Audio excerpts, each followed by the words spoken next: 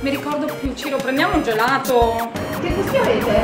Allora abbiamo mediterraneo, spirulì, ricotta io. Proviamo.